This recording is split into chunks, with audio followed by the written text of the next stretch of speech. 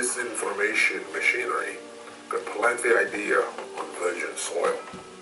Codenamed Operation Dragon, it has become one of the most successful disinformation operations in contemporary history. Blaming the CIA for the KGB's own assassinations and kidnappings abroad was a disinformation tactic that had been introduced by Khrushchev. It essentially killed two birds with one stone. The CIA is by far the world's best intelligence organization. It decisively contributed to the Cold War victory, and it became the world's first line of defense against terrorism and nuclear proliferation. By portraying it as a criminal organization, the KGB hoped to diminish its ability to recruit human assets. To add more fuel, the official Soviet line spread on Oswald was he never was trusted during his stay in Russia and was suspected of being a CIA agent. The very clever master of deception, Yuri Andropov, once told me if a good piece of this information is repeated over and over, after a while it will take on a life of its own and will all by itself generate a horde of unwitting but passionate advocates. The greatest and grandest of all conspiracy theories was born, and it has never stopped. Numerous books have been written and films made about the assassination of Kennedy. Public opinion polls have consistently shown that a majority of Americans believe there was a conspiracy to kill President Kennedy. The first piece of irrefutable evidence proving that the KGB had launched a disinformation offensive was released by Boris Yeltsin. In his memoir, The Struggle for Russia, Yeltsin revealed a letter to the Central Committee of the Communist Party of the Soviet Union dated November 23, 1963, the day after the assassination. Signed by the KGB chairman, the letter recommended publishing in a progressive paper in one of the Western countries an article exposing the attempt by reactionary circles in the USA to remove the responsibility for the murder of Kennedy from the real criminals, those being the racists and ultra-right elements guilty of the spread and growth of violence and terror in the United States. Two months later, R. Palme Dutt, the editor of a communist-controlled British journal, Labour Monthly, published an article that raised the specter of CIA involvement without offering a scintilla of evidence. In 1992, the British smuggled Vasily Mitrokhin, a KGB archivist, out of the Soviet Union along with some 25,000 highly classified copies from the KGB archives. Those documents represented just a, a minuscule part of the whole KGB archive. But nevertheless, the FBI described that archivist as the most complete and extensive intelligence ever received from any source. The biggest counterintelligence bonanza of the post-war period. Among the most important revelations provided by the archive are the highly classified KGB documents, proving that the Kennedy assassination conspiracy was born in and partially funded by the KGB. The documents reveal that the first book on the assassination, Oswald, Assassin or Fall Guy, was authored by a former member of the German Communist Party and published in New York by a KGB agent who received subsidies totaling $672,000 from the Central Committee of the Communist Party. It is noteworthy that the book saw the light of day before the Warren Commission report was published. It also follows the Dragon Operation guidelines by describing Oswald as an FBI agent with a CIA background, who was used to shield the real assassins, a group of American right-wing conspirators. In 1988, New Orleans attorney Jim Garrison's book, On the Trail of the Assassins, claimed that the Kennedy assassination was the result of a conspiracy at the highest level of the government. Inspired by Garrison's book, Oliver Stone's movie JFK claimed that members of the military industrial complex, the CIA, the FBI, the Secret Service, the Mafia, and Lyndon Johnson were behind the assassination. The movie won two Academy Awards, and many Americans believe the film is fact. Stone, the king of Hollywood disinformation, once again turned history inside out. Oliver made a film about JFK that we all know is riddled with tremendous conspiracies as if LBJ killed JFK. Now that, what's good about that film good, I mean safe about it, is it is so absurd that it really looks like it's fabrication. Many people still dismiss the lone gunman theory, saying that one man could not bring down the world's most powerful person. On Monday, March 30th, 1981, a lone gunman came within inches of taking down President Ronald Reagan.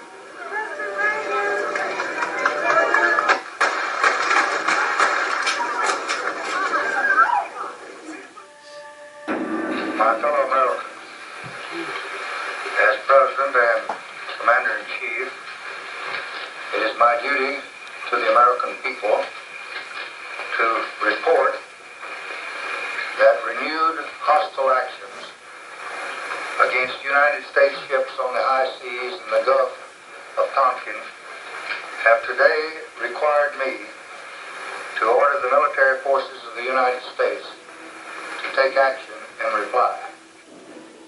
In August of 1964, two attacks on American ships off the coast of North Vietnam would signal the beginning of another hot war in the Cold War struggle. On March 8, 1965, 3,500 U.S. Marines land near Da Nang in South Vietnam. On March 19, 1965, Gheorghiu Dej, Romania's first communist dictator, dies. Three days later, officials of the Politburo turn to Nicolae Ceausescu and elect him general secretary, thus beginning the 30-year rule of one of the most corrupt and brutal dictators in history. Nicolae and Elena Ceausescu would institute a cult of personality, turning Romania into a laboratory for fear, misery, and poverty. In June of 1967, the fast and decisive Six-Day War in the Middle East came to an abrupt end. Victorious Israeli forces had taken control of the Sinai Peninsula and the Gaza Strip from Egypt, the West Bank and East Jerusalem from Jordan, and the Golan Heights from Syria. The defeat of the Soviet-backed countries of Egypt and Syria would have repercussions for many years to come.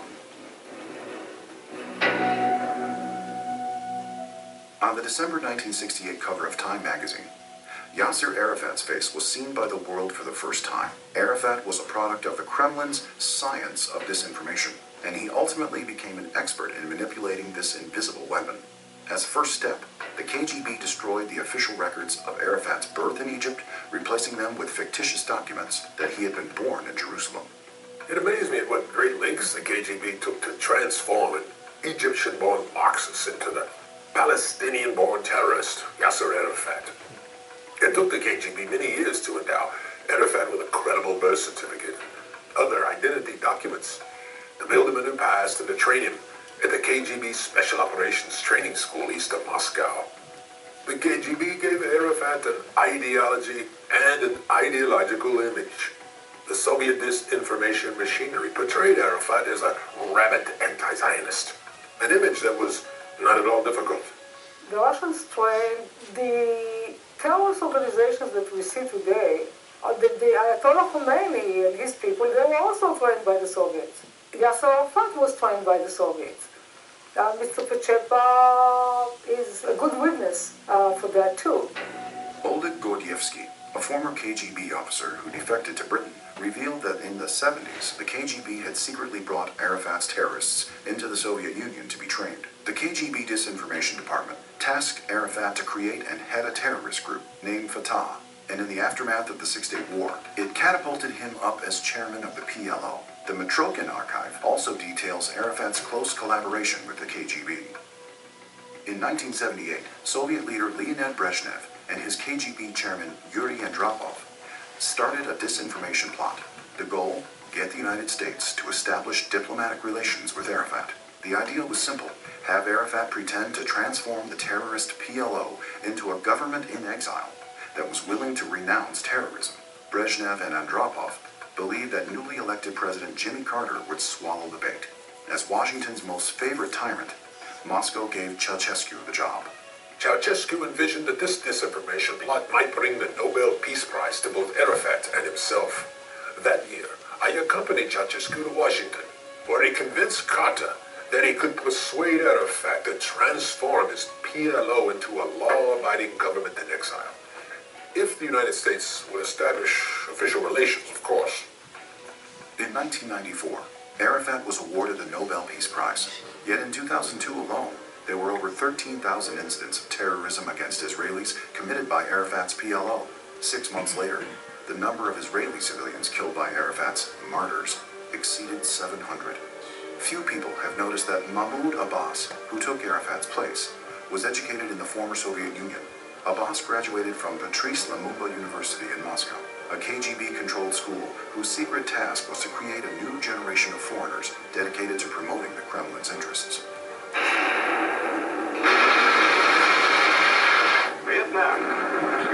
States helicopter gunships backed up ground forces in a strong assault on a Viet Cong position only three miles from Saigon's Tan Son Nhut Air Base.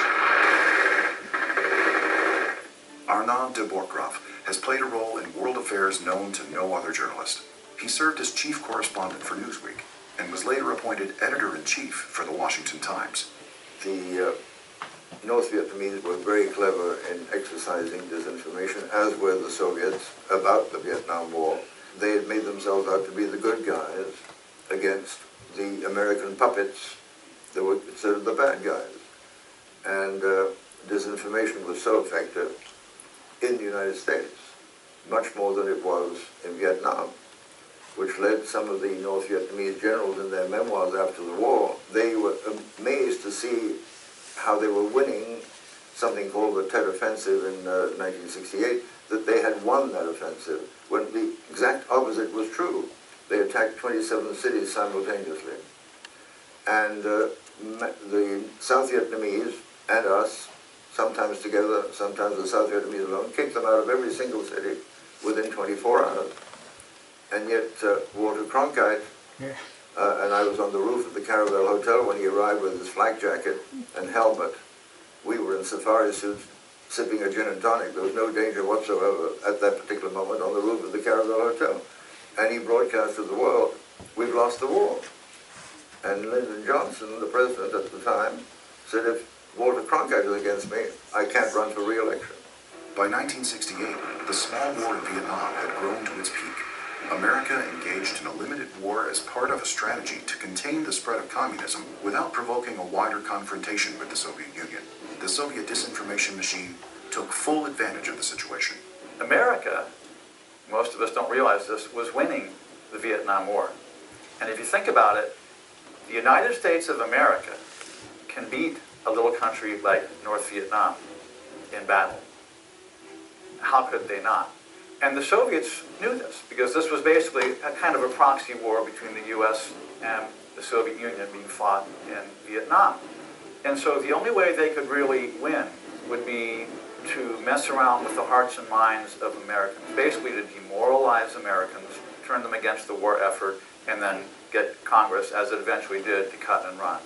On April 22, 1971, a former Navy lieutenant testified to the Senate Committee on Foreign Relations. They had personally raped, cut off ears, cut off heads, taped wires from portable telephones to human genitals and turned up the power, cut off limbs, blown up bodies, randomly shot at civilians, razed villages in a fashion reminiscent of Genghis Khan, Although Kerry never fully revealed the source of the accusations, I recognize them as being the product of another KGB disinformation operation. Senator Kerry uh, went through his medals over the White House fence in protest.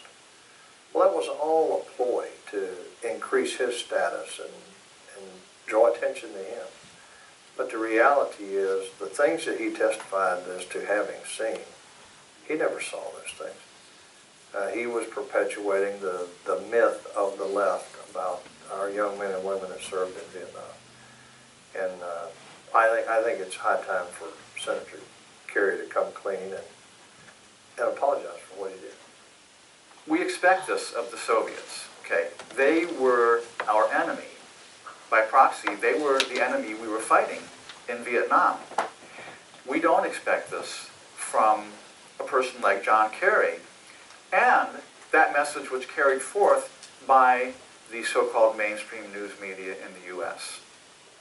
Throughout history, Americans had never before been anti-American. They were always a proud and independent people who loved their country and who won every military conflict up until its wars against communism.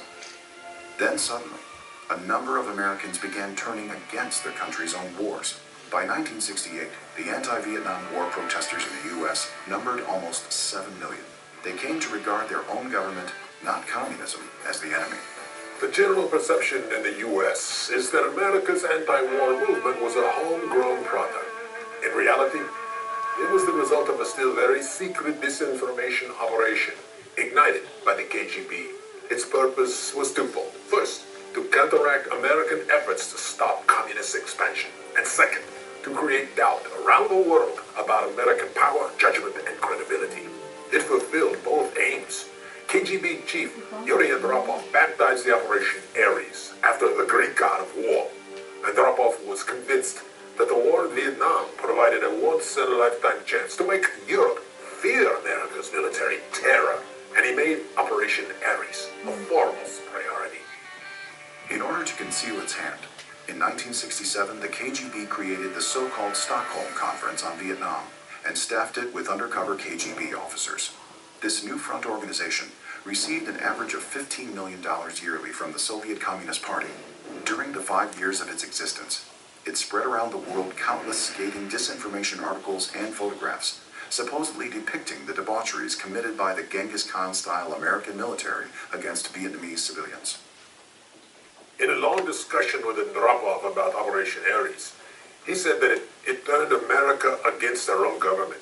It damaged America's foreign policy consensus, poisoned her domestic debate, and transformed the world's leftists into deadly enemies of American imperialism.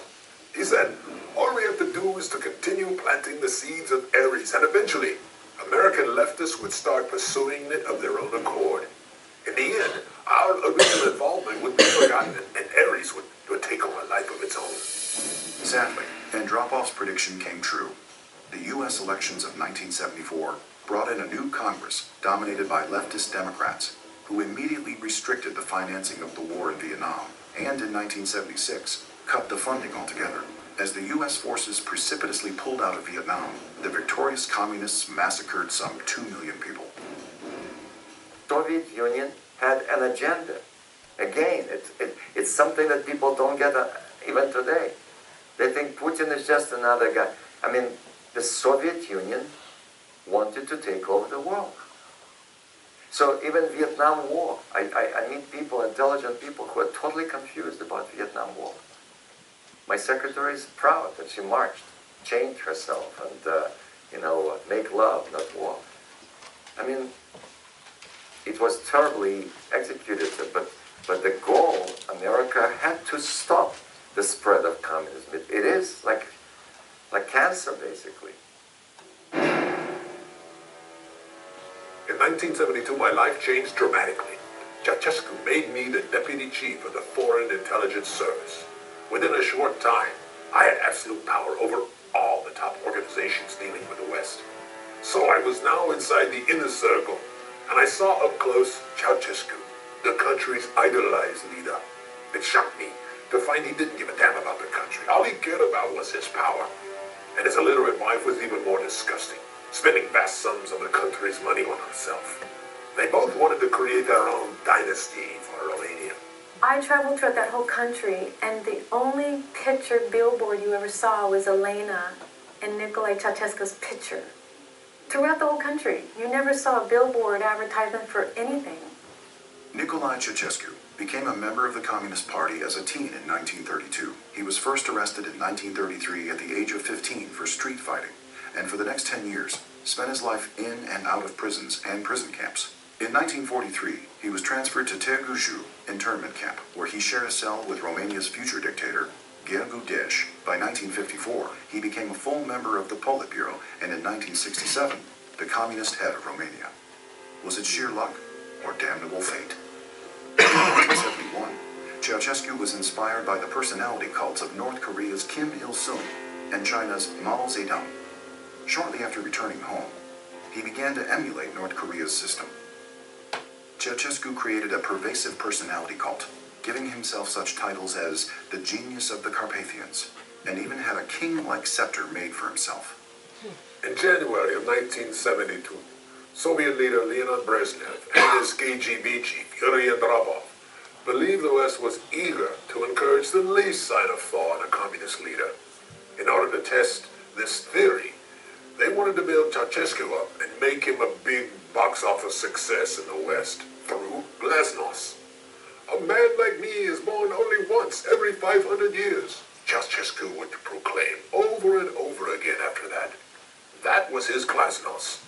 And unfortunately, I was deeply involved in it.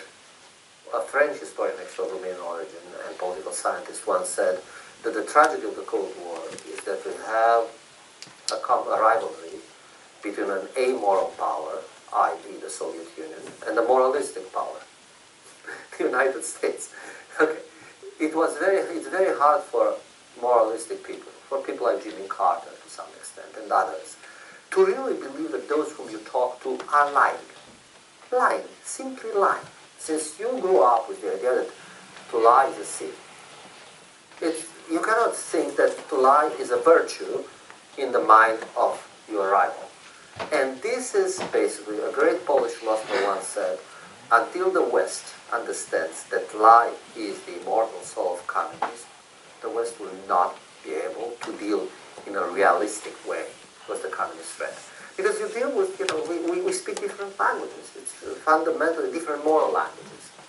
Glasnost meant self-promotion, an old Russian term for polishing the ruler's image. It was regarded as a tool of the black art of disinformation to sanctify the country's leader. For communists, only the leader counted.